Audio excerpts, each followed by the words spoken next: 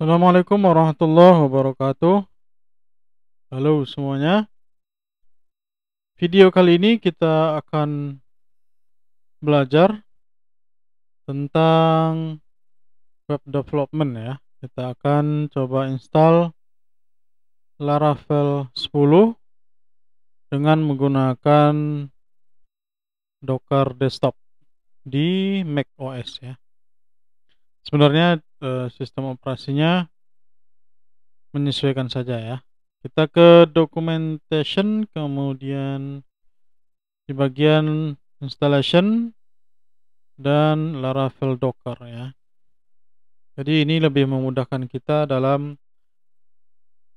menginstal ya atau istilahnya kita uh, dimudahkan dalam hal mengelola server untuk development kita baik itu dari misalnya versi dari PHP-nya, MySQL-nya ataupun Redis ataupun web server Nginx atau Apache-nya ya. Jadi nanti di dalam uh, Laravel-nya itu akan ada docker compose.yaml ini ya. Kita akan gunakan um, yang Mac OS ya. Jadi ini kita jalankan. Ini kita copy ya. Kemudian kita buka terminal. Ini kita cd ke github ya. Nah nanti rencananya akan kita taruh di sana. Paste di sini kita namakan aplikasinya Laravel 10 ya. Bisa kita sesuaikan. Laravel 10 enter. Kita coba ulangi lagi. Karena koneksi sebelumnya time out ya. ya jadi kita coba ulangi lagi. Oke akan full image nya yang terbaru ya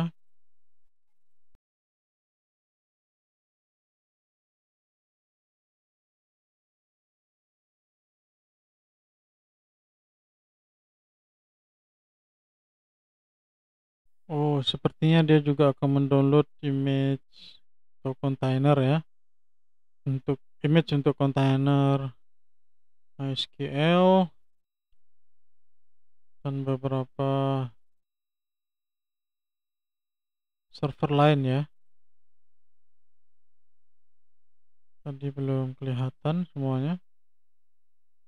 Ini masih proses download ya karena pertama kali image-nya belum ada di Docker desktop kita.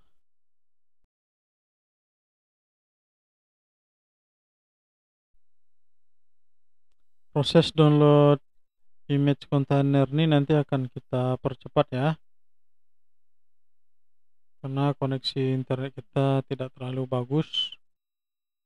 Di memakan waktu untuk uh, mendownload atau ngepull image dari kontainer yang akan diperlukan di Laravel style kita ini.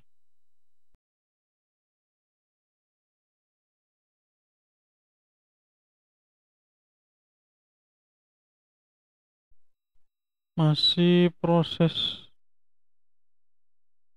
pembuatan kontainernya ya.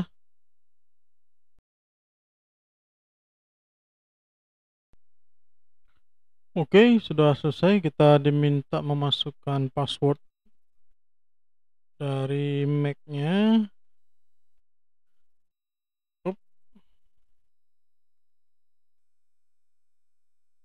Oke. Kita masuk selanjutnya ke folder Laravel 10 nya dan jalankan vendor bin sale kemudian up. Kita lihat di kontainernya sekarang level 10 dibuatkan kontainernya. Oke running di port 80 databasenya kita cek ya. Oh ada banyak sekali yang dijalankan ternyata ya. Di Laravel test 1 MySQL Redis, ada Selenium, ada Mailpit juga, ada Milisearch ada banyak. Jadi ini kita akses ke localhost 8080 ya.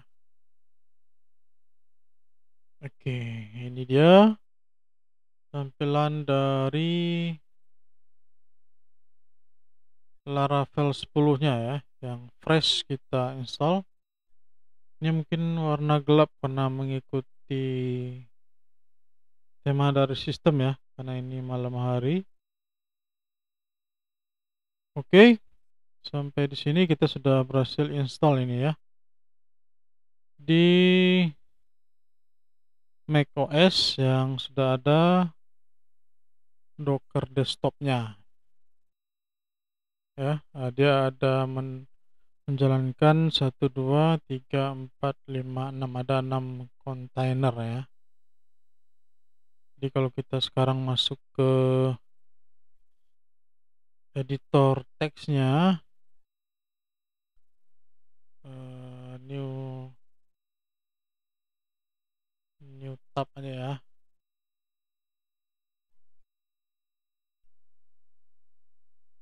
jadi dokumen github kemudian laravel 10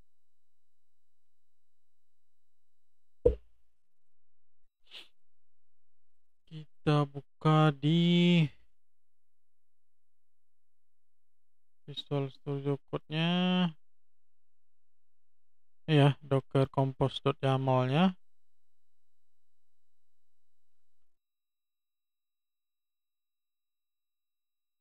jadi service-nya itu ada ada banyak ya 1 2 3 4 5 6 jadi sesuai dengan kontainernya ini tadi. Ini seharusnya Redis ini bisa kita matikan ya. Bisa kita komen di sini. Jadi nanti ya, saat kita jalankan lagi. Kontainer ini tidak di di up atau di running. Termasuk juga milih search mailpit dan selenium